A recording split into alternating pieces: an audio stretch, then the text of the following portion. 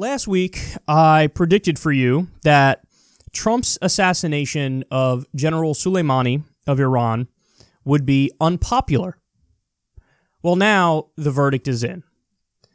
56% of Americans say they disapprove of President Trump's handling of heightened tensions with Iran, according to an ABC News poll conducted by Ipsos Public Affairs. Why it matters 52% of Americans said the Trump administration's decision to kill General uh, Qasem Soleimani in an airstrike makes them feel less safe, despite assurances from Secretary of State Mike Pompeo and other officials that the U.S. is safer with Soleimani gone. By the numbers, approval of the airstrike breaks down along party lines. 87% of Republicans approved of Trump's decision making on Iran, and 54% said they feel safer. 90% of Democrats said they disapproved, and 82% feel less safe. But here's the key part, guys 57% of independents, a key electoral target for both parties, disapprove of Trump's handling of the situation, with 51% saying they feel less safe. So there's, you know, a lot of information there. Um, 87% of Republicans are acting incredibly sycophantic. And you know, now we know the the principled anti-war Republicans, 13% of the party. Or 13 percent of Trump supporters are principled in their anti-intervention stance. So 87% fell right in line, said they approved of Trump's decision making, which is wild. But the interesting part though is 54% said they feel um, safer, which means 46% said I this doesn't make me feel safer. So, but that's just the Republican numbers. The other stuff is more interesting to me. 90% of Democrats disapproved. 57% of independents disapproved. And again, the overall number 56% of Americans say they disapprove of Trump's handling of Iran. Now, here's the reason why I made that prediction, and it came out to be true. When we had the Iraq War, George W. Bush spent at least a year propagandizing the American public, trying to make them think that Saddam Hussein was about to attack us. The argument was, oh my God, Saddam Hussein um, worked with Osama bin Laden to do 9 11. And, and then, you know, that changed to Saddam Hussein has weapons of mass destruction, and the implication is if we don't do something, he's going to use it on us.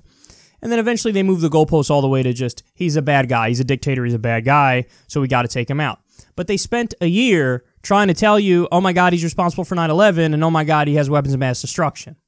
So when you feed the media propaganda and they relentlessly push it out there, and you got Dick Cheney going around giving speeches telling everybody to be afraid, and you do it for an extended period of time, people eventually start to believe the lie. And that's what happened. People believe the lie. And you had Colin Powell famously going to the, um, you know, the UN holding up a vial saying, see, he's building, uh, you know, he's building weapons of mass destruction. So they sold the public on it because they were relentless in their propaganda. So when we started the Iraq war, guys, the approval rating was like 80 or 90%. It was overwhelming. And historically, not just for the US, for any country, historically, if you build up the threat enough and then the president or the leader takes us to war, people generally fall in line because they want to feel patriotic and they want to feel like, you know, we're doing the right thing and our, our strong leader is taking us through this tumultuous time. So, and I think that that's part of Trump's reasoning as to why he did this because, you know, he's politically embattled at this moment. And you got the impeachment that got through the House. And uh, we'll get to a story later as to more specifics as to why he did what he did.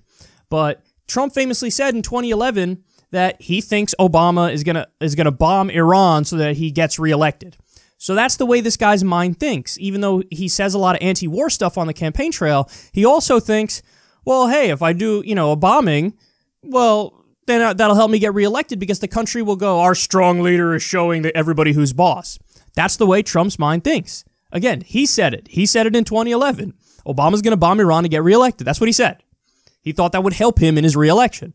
So the election's, you know, a year away, and Trump assassinated a top Iranian general. Um, but people are against it because they didn't even bother to propagandize you.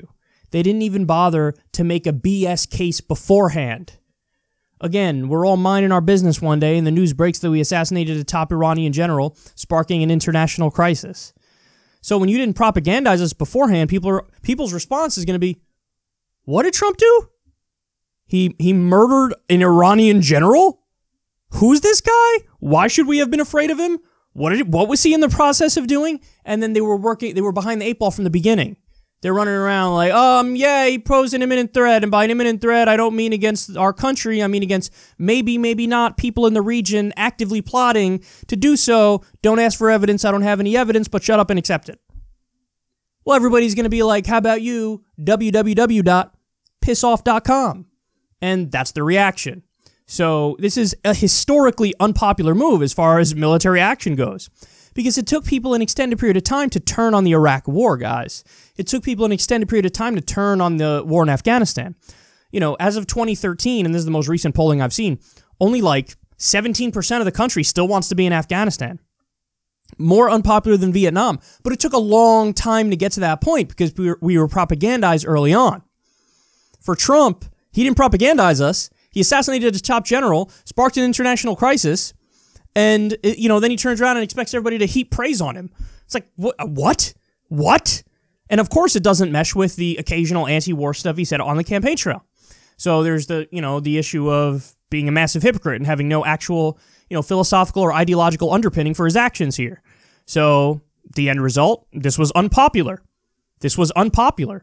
And I think that it kind of woke people up to something that's, you know, we've known about Trump for a while, but maybe this is the most stark example of it. It's the like impulsive nature. The, you know, yeah, yeah, do it. Like what wait, what? This is like something that should require a tremendous amount of thought and nuance and, and careful decision making. He's like, yeah, I just assassinate him. What? This it's not like taking out a non-state actor. This guy was a, a state actor. An Iranian general is a state actor. You put them in a position where they have to respond. And they did respond. Thankfully, they were very clever and intelligent about it, and they warned the U.S., and then we, they attacked that base without, you know, having any casualties. But, you know, this was, uh, you're really playing with fire here, and you're really showing just how impulsive this guy is. So people were against it. Now, you know, this gets to the final point I'll make in this story, which is Democrats, here you go. Go to town, go to work. You know, don't shut up about this. It's weird because Democrats always convince themselves they're playing a losing hand when they're playing a winning hand.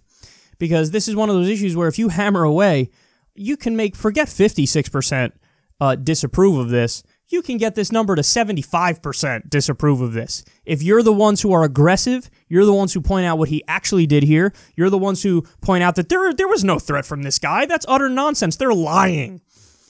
So if you that you could win, but no. What's going to happen? We're already seeing it happen.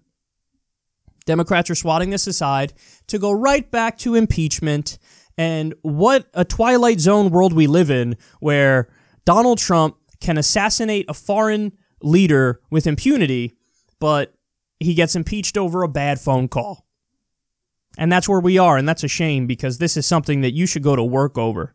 And, you know, this this can be one of the main issues now the Democrats run on, and they would win on that because the American people didn't want this, and now the numbers show it.